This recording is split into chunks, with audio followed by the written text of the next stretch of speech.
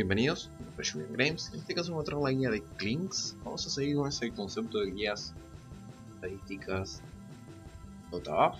Y Clinks es un personaje que antes de que se vayan corriendo, un personaje que 720 cuando lo presentó yo menosprecié o no entendí el cambio que impactó en Clinks. No lo entendí porque pensé que estaba bien el personaje. Sin embargo, es verdad que Clinks tenía una característica que era muy aburrido. Era un personaje que tenía ciertas mecánicas que hacían que el personaje sea relativamente aburrido.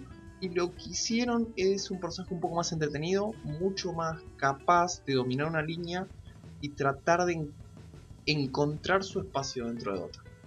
De hecho es el siguiente, Clinks era un hard carry. bien? Era un hard carry de línea safe. Un hard carry de línea safe que realmente no brillaba y que realmente no aprovechaba mucho eh, el early game y principalmente se basaba en el concepto de cazar solo. Una mecánica bastante aburrida, debido a que principalmente tu equipo estaba en un lado y vos estabas en otra punta, eh, tratando de matar a alguien. Clinks ya no es eso.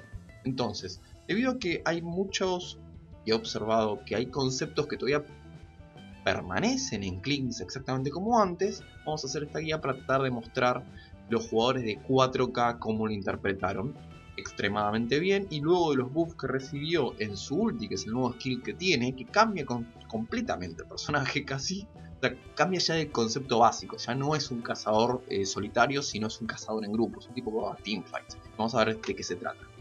Bien, como siempre, Vamos a considerar que la gente de Divina Inmortal son tipo que ya dominan el juego a la perfección, entonces le van a sacar provecho a todos los personajes. Aquellos personajes que tengan buen win rate, significa por, arriba del 50%, son personajes que son saludables. o sea, si lo ves en Divina Inmortal con más de 50 significa que es saludable. Si vas a bajar, aunque parezca mentira, Clinks está en un saludable 51%, 51.93. Sin embargo, fíjense que los win rates que tiene en justamente los otros niveles, que serían Ancestro, Leyenda, Arconte y debajo, son buenos. Esto significa que el personaje no es necesariamente un personaje muy difícil de dominar y estoy totalmente seguro que estos porcentajes, no este, pero estos los otros, están ensuciados por aquella gente que sigue haciendo la will exactamente igual de Soul Ring, Orquídea o Sheepstick, lo que sea. Estoy totalmente convencido porque he visto partidos de Clinks donde sacan a Clinks y lo sacan mal. Quien lo saca bien, lo más probable es que sea una buena herramienta para ganar partidos y ranked y ganar MMR. Vamos a mirarlo un poco. Y primero y principal, es un personaje justamente que es de rango carry escape pusher. Más que eso, es un personaje que es extremadamente bueno para ir por objetivos. Y encima, antes que no lo tenía, ahora es extremadamente bueno en teamfights a nivel justamente TIE Hunter, no, no tiene un impacto tan sustancial como puede ser una concatenación de stuns con Hunter Shaker, pero sí presenta buen daño ahora en Teamfight, que antes no era, y encima daño bien repartido dentro de todo hacia los adversarios. 33 en popularidad, ya dijimos 52.30% de win rate, y fíjense esto y vamos a ver dónde es la presencia de línea. En Safe tiene un 38.21%, muy alto con un 49.63% de win rate. Esta es la gente que juega el Clinks viejo con el nuevo Clinks. Equivocados. Debido a que Clinks ahora tiene buena presencia en línea comparativamente. Tiene buena supervivencia, buena presencia en línea y una estructuración ahora de skills distinto a lo que era antes. Porque el tipo en medio podés conseguir un espacio donde el... puede generar presión en las torres y en la primera torre del medio. O sea, en el momento en que le dan un poco de espacio, si el Mir se corre, la torre desaparece. Por consiguiente, obliga inexorablemente que haya un Mider ahí porque simplemente está Klinks. Klinks genera esa presión, impide la rotación del Mider y por ahí obliga una rotación de un cuarto. Si Klinks logra matar al Mider, en poco tiempo puede destruir la torre. Entonces, obliga a que alguien vaya a defender la torre o perdés la torre más importante del juego en los primeros minutos. O sea, en 15 minutos de tipo te puede llevar puesto dos torres. Entonces, eh, las runas encima son extremadamente buenas en él.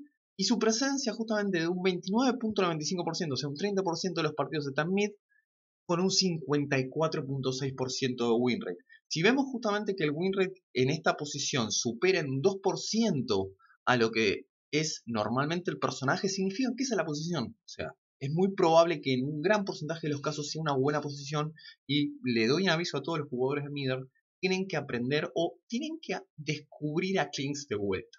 ¿Está bien? Bueno, primero y principal, lo que me interesa es hablar de los skills porque cambiaron, cambió un solo skill, pero el skill que cambió, cambió con mucho, mucha, mucha violencia.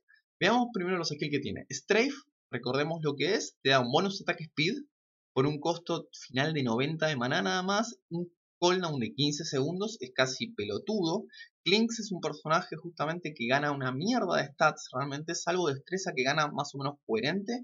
En el resto de los departamentos son malos, eso significa que va a tener problemas de maná, problemas de HP, es un personaje que empieza con nada de HP, realmente, y se le complica un poco. Entonces, Strafe le va a dar el ataque speed plus que va a necesitar para poder destruir ya sea objetivos o eh, hacer kills. Antes se usaba principalmente para skills en solitarios, ahora lo más probable es que lo utilices también como un método para poder zafar, porque eh, bloquea automáticamente por un periodo de tiempo, 3.5 segundos, proyectiles. ¿Qué proyectiles? Cualquier skills. O sea, cualquier proyectil que le estén enviando, ya sea right click o justamente un proyectil como puede ser el eh, de la Venga Full Spirit o alguna de esas características, el tipo lo va a evadir por ese periodo de tiempo, dándole una abertura donde puede generar daño, quedarse quieto, tal vez evadir algún que otro skill y algún proyectil. Los disparos de la torre también son proyectiles. Entonces, esto le da 3 puntos, una ventana de 3.5 segundos para poder aguantar. Lo más probable es que en 3.5 segundos a la velocidad que dispara la torre puedas aguantar dos proyectiles. ¿Está bien? Porque es lo que dispara la torre. Un tercero. Eh, bien, esto es una buena mecánica que le da supervivencia un poco, ¿Es situacional? Sí. ¿No todos los héroes tienen proyectiles? Sí, no todos los héroes. ¿Y no todos los proyectiles pueden ser evadidos? Sí. Bueno, Siren Arrow. Eh, las flechas de fuego este muchacho es daño físico. Atraviesa inmunidad mágica y es uno de los pocos skills que todavía atraviesa inmunidad mágica. Significa que te importa un huevo que el adversario prenda Black Bar. Tu daño es principalmente físico, haciendo que sea de mucha utilidad con otros personajes que bajan armadura. Y actualmente la bajada de armadura en 7.20 tiene mucho impacto y es muy importante. Pero el daño que hace es increíble. 60 de daño a 12 de maná sin cooldown es muchísimo. Y después tenemos la invisibilidad, que dura 35 segundos al final, 45% de velocidad de movimiento. Es uno de los pocos tipos que todavía tiene porcentaje de velocidad de movimiento. A 75 de maná y 17 de cooldown y Burning Army, que este es el cambio que hicieron. Antes Clinks lo que hacía era, iba al jungle, o sea, estaba solo, agiteaba, se hacía invi, se metía en el bosque, comía un creep grande con el ulti, conseguía más daño y más HP para sobrevivir, volvía a hacerse invi, se metía dentro de la, del bosque enemigo, mataba a alguien. Era la mecánica bastante aburrida, bastante peligrosa, porque habitualmente si te metías mal y había sentries, eh, estabas mal parado. A veces eh, perdías tiempo simplemente no pudiendo conseguir eh, el kill, o en su efecto tenías que hacer, los otros cuatro jugadores tenían que hacer espacio a vos para ir por un objetivo y rezar que nadie venga a trepearse a la torre. No tenía buena presencia en teamfight, solo apuntaba a un objetivo y lo limpiaba y era todo lo que hacía. Ahora con el ejército justamente este de fuego, lo que hace es genera una línea ¿cierto? de esqueletos. Estos esqueletos tienen un attack range y un attack rate cierto? fijo. ¿Está bien? Eh, máximo es 1.45.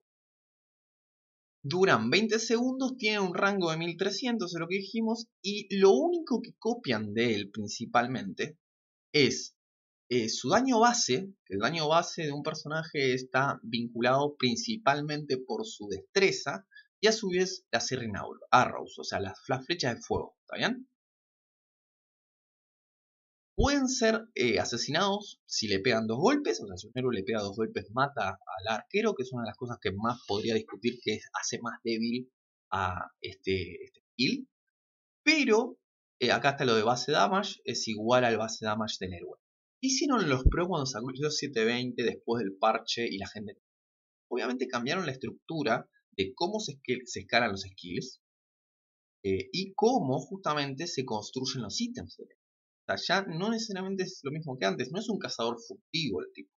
El tipo ahora presenta mucho daño en línea, si lo pones en medio va a conseguir muy buen level, va a conseguir buen right click, porque encima con eh, Sierra Rose podés la hitear con mucha facilidad y encima presenta mucho daño. Entonces, lo que principalmente hicieron eh, es lo siguiente. Vamos a ver este muchacho. Mid, core, ¿no es cierto?